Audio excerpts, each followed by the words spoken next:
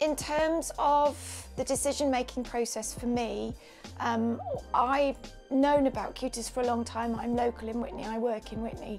Um, I've seen Qutis has been around for a long time, excuse me. Um, and so effectively it's a brand I've trusted. Um, we talk um, amongst me and my friends about what we'd have done and where we would have it done. Um, and I'd always said I'd probably go and talk to Qutis first. Um, and then when I spoke to you in the initial consultation um, via Zoom and you're the business owner and, uh, and a nurse, then that kind of sealed the deal for me that I had come to the right place. So I was very, very confident with that.